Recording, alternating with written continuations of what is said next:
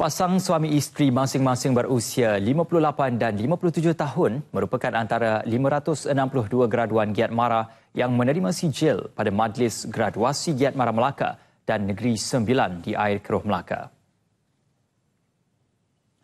Hamzah Yazid dan isteri Aina Lebar berkata, usia bukan penghalang untuk mereka menyambung pelajaran seperti remaja lain.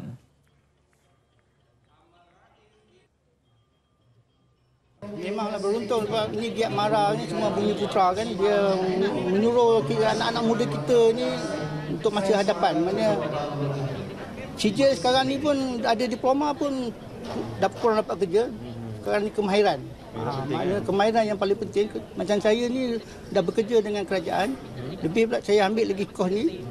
Ha, maknanya mudah bagi saya lagi ha, memudahkan lagi pada saya untuk mendapat pinjaman daripada Giat Mara. Ha, saya memilih khusus ini kerana saya dah ada pengalaman mengurus tadbir di Dewan Selera Emerson Kedah. Jadi saya nak dalamkan lagi ilmu berkenaan uh, untuk um, nak bina kejayaan masa akan datang.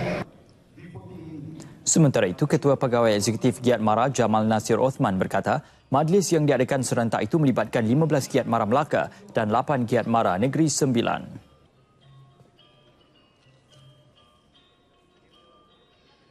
Seperti yang kita sedia maklum, sekarang kita menuju kepada uh, revolusi industri 4.0 mana bidang-bidang yang berkaitan dengan Internet of Things uh, itu yang akan sekarang nampak. Dan selain itu adalah dalam bidang-bidang perkhidmatan.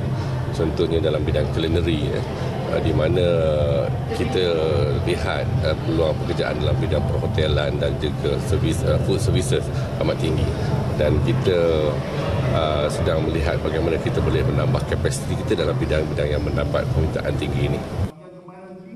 Tambah beliau, rata-rata graduan Giat Mara kini sudah mula menjalankan perniagaan sendiri dan ada yang melanjutkan pelajaran ke peringkat yang lebih tinggi.